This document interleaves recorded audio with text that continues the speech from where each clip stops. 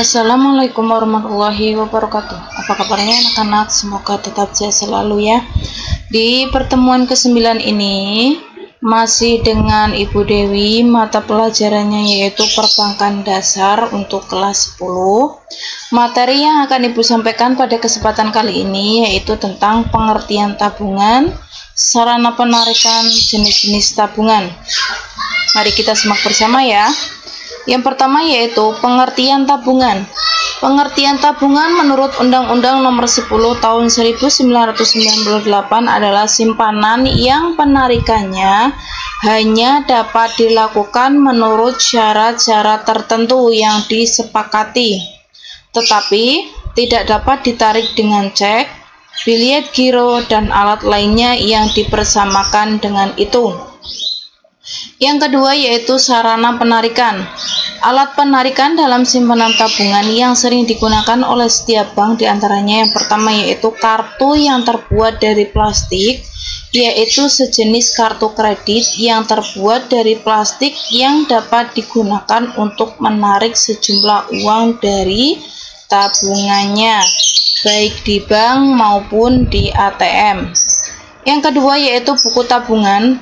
Buku tabungan merupakan buku yang dipegang oleh nasabah berisi catatan saldo tabungan, transaksi penarikan, transaksi penyetoran, dan pembebanan. Yang ketiga yaitu slip penarikan merupakan formulir untuk menarik sejumlah uang yang ada di buku tabungan.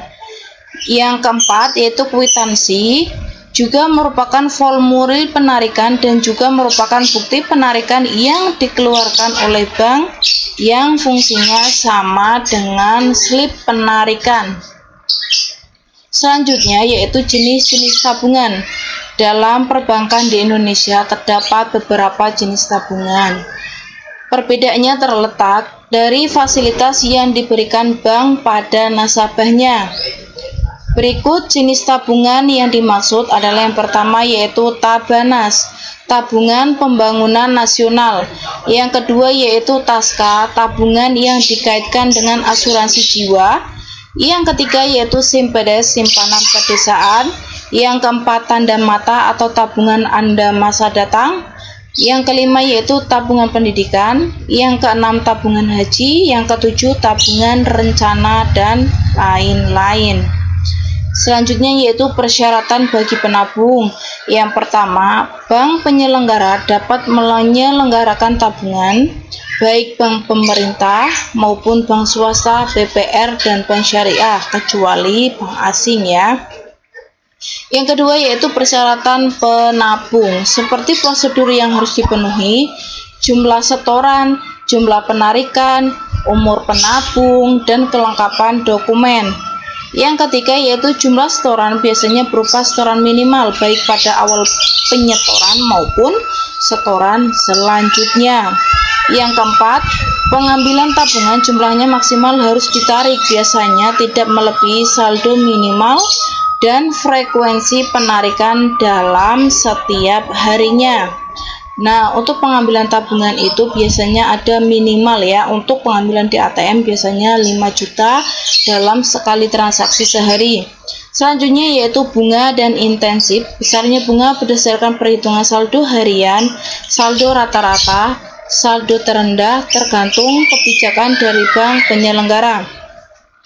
Selanjutnya yaitu penutupan biasanya bergantung dari keinginan nasabah dan kebijakan dari bank penyelenggara. Nah, berikut ini contoh dari perhitungan bunga tabungan ya. Nanti kalian pelajari. Nah, contohnya ini. Ada tabel rekening tabungan Satria Nurul Busana. Ya. Rekening tabungan Satria store tunai, ada store dengan cek bank lain, tarik tunai, trader masuk, tarik tunai, store tunai. Nah, keterangannya nanti di bawah ini. Nah, tahapan yang pertama yaitu laporan buku tabungan. Laporan ini terjadi atau bisa disebut juga rekening koran ya, transaksi yang Satria lakukan dalam satu bulan. Kemudian Selanjutnya yaitu perhitungan bunga dengan saldo terendah. yang selanjutnya yaitu perhitungan bunga dengan saldo rata-rata yang keempat perhitungan dengan bunga harian ya Nih, ada tiga tahapan perhitungan bunga tabungan.